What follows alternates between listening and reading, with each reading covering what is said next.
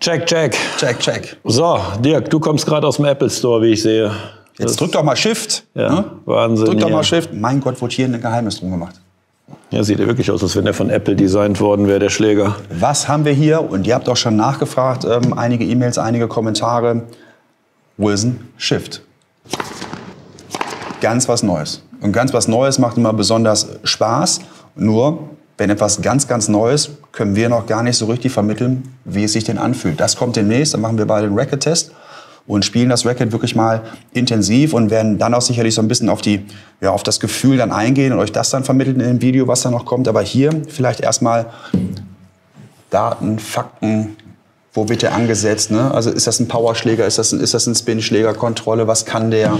Also erstmal ist das ja jetzt mal, so wie ich sehe, nicht mal eben kurz so ein Zwischenmodell, sondern da entsteht eine komplett neue Wilson-Serie. Komplett neu. Ja, das heißt, ähm, es ist nicht, dass da ein Schläger mal eben kommt, der ein geiles Design hat, sondern da kommt wirklich eine ganze Serie in verschiedenen Gewichtungen und ähm, ist wo anzuordnen. Also wenn Nur damit die Kunden Ja. wissen, na, okay, ich spiele einen Pro-Stuff oder ich spiele einen Ultra. Äh, wo, wo, Wenn ihr euch bei Wilson auskennt, die verschiedenen Serien, wer es nicht kennt, gehe ich noch mal kurz drauf ein. Ähm, wir haben die Pro-Stuff-Serie, die eher sehr kontrollaffin ist. Dann kommt Wilson Blade, viel Kontrolle, klar, aber ein bisschen mehr Power schon als Pro-Stuff. Dann wäre der Shift, ja. also sag ich mal als Allrounder positioniert. Dann käme Wilson Clash und dann käme der Ultra als Powermaschine. Das vielleicht auf einer Skala sich mal vorstellen, dann ist der Shift mittig angesetzt, also zwischen Wilson Blade und Wilson Clash. Aber was kann er, was die anderen nicht können? Das konnte ich mir erst gar nicht vorstellen. Ihr habt vielleicht ja schon mal in Videos von uns ähm, verfolgt, es gibt Schläger, die sind soft. Die haben die Möglichkeit, sich vorne, sag ich mal, wie so ein Clash, easy zu bewegen, so ein bisschen Ja. Peitschenhieb mitzumachen. Es gibt Schläger, die sind sehr steif, alles gut. Es gibt Schläger, die sind torsionsweicher oder torsionsstabiler. Das hier ist zum ersten Mal, dass sich ein Schläger so verwinden kann. Ohne, dass er hier instabil wird. Und damit könnt ihr auch euch, braucht ihr euch keine Gedanken mehr machen über den RA-Wert. Weil den müsstet ihr dann so rummessen. Ja, ja, genau, genau. Ne? Also, wo wir ja eh immer von absehen sagen, Leute, lasst euch nicht verrückt machen von RA-Werten. Ähm, da gibt es unterschiedliche Sachen. Wir haben jetzt hier zwei verschiedene Modelle. Wir haben jetzt einmal 315 Gramm und einmal 300 Gramm. Du Ja. hast jetzt den 300 Gramm Schläger in der Hand. Der hat jetzt ein Beseitungsmuster von 16 mal 20 und spektakulär ein 99er Kopf. Ja. Da will ich jetzt gar nicht so tief drauf eingehen. Ähm, warum 99? Keine Ahnung. Ich kann es nicht beantworten. Welche Gründe? Vielleicht ist der von Nena entwickelt oder so. 99. Gehen wir mal auf die 16 mal 20 ein. Ja, das, jetzt kommt ja der Schocker. Jetzt denkst du 16 mal 20. Es gehen hier 10 Seiten durchs Ja. Schläger, na, durch, durch, durch den Sweet Spot und denkst, okay, naja, sollte dann ein absoluter Kontrollschläger sein und ähm, wird auf Kosten des Spinnens gehen. So, jetzt habe ich mir das Ding natürlich schon mal, weil ich wieder neugierig war, schon mal geschnappt, ein paar Schläge gemacht und denkst, alter Däne, der nimmt total viel Spin an.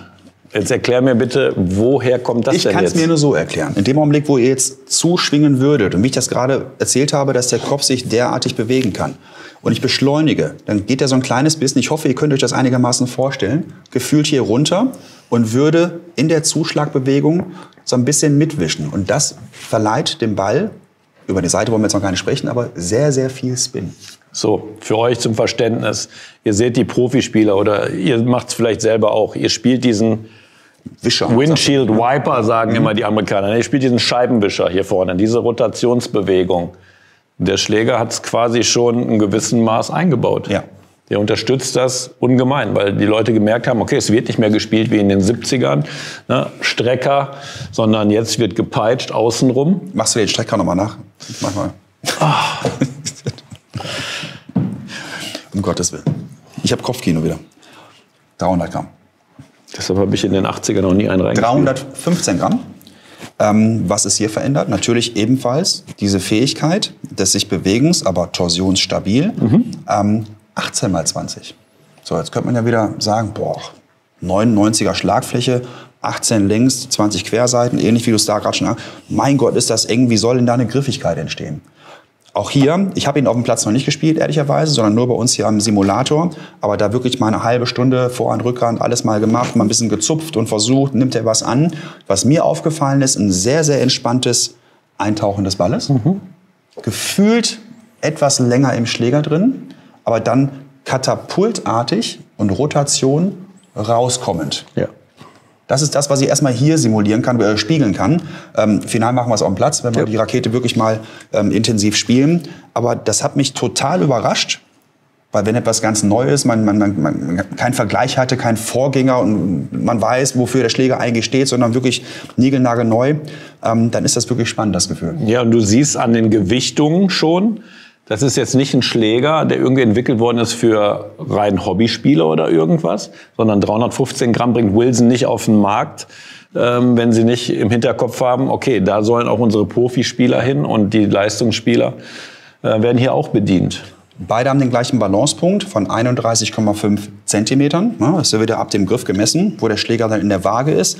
Lass uns mal so ein bisschen auf, auf ähm, haptische Dinge eingehen erste, erstes Gefühl, wenn du ihn in der Hand hast, beziehungsweise Optik, das spielt ja alles so ein bisschen da rein. Du bist Flüssig, ja, ich finde ich find, äh, find den wirklich sehr, sehr gelungen. Und wie gesagt, ich sagte, das erste, wo ich ihn gesehen habe, ist oh, es gibt jetzt äh, neben dem iPhone auch das iRacket mhm. oder was. Das ist schon ein bisschen an Apple angelegt, würde ich sagen. Ne?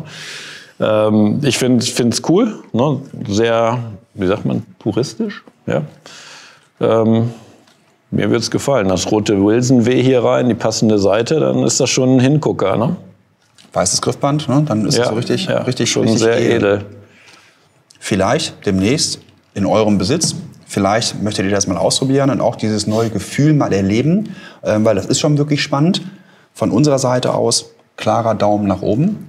Ähm, aber ihr kennt auch unsere Meinung. Dinge, die sich für uns gut anfühlen, müssen sich nicht zwingend immer für euch auch gut anfühlen. Deswegen klar, ausprobieren, testen, eigenes Bild machen.